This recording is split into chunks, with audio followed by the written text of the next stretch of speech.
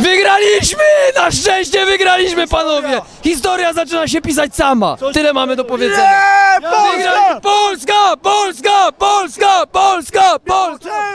Ja już nie mam, ja już nie mam siły krzyczeć. Dziękuję. No, Kangu z Australii był na trzech meczach. Czwarty też wywalczył po ciężkim meczu. Wywalczył to zwycięstwo, wymęczył.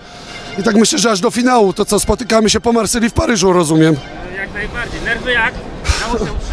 Głosu nie mam, ale szczęśliwy jestem. To chyba najważniejsze. Emocje sięgnęły dzisiaj zenitu. Kubki rzucone na boisku pokazały pełną frustrację Szwajcarów. Oni nie potrafią się zachować. To Polacy potrafią się bawić. Zawsze górą, biało-czerwoni. Najlepszy mecz, jaki mogliśmy trafić, naprawdę. Po prostu bajka, bajka, świetny doping z jednej, z drugiej strony. Ja już nie będę mógł mówić przez najbliższy tydzień. Takich emocji się nie spodziewałam, ale po prostu było niesamowicie. Słuchajcie, gratulacje dla chłopaków, bo było pięknie, przede wszystkim Łukasz Fabiański, no bajka, bajka, bajka, obyk tak dalej. O Jezu, były, także zaraz wracamy do domu, mamy przed sobą 1500 km, nie wiem jak my tam dojedziemy, ale jakoś damy radę, chyba na adrenalinie. Polska wreszcie, wreszcie, 30 czy ile ja lat czekałem, nie wiem ile, całe swoje życie na taki wynik. Dramaturgia super. Jak, jak było? Żona, partnerka, każda. Było zajebiście.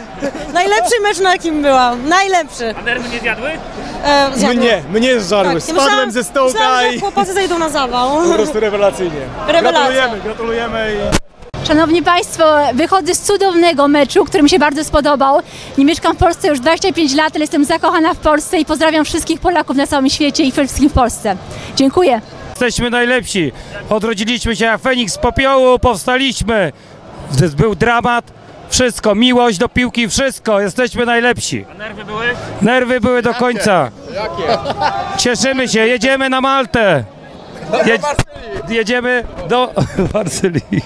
I czekamy teraz na rywala albo Portugalia, albo Portugalia, albo Chorwacja. Jakaś różnica jest czy nie ma? Chyba łatwiej będzie z Portugalią.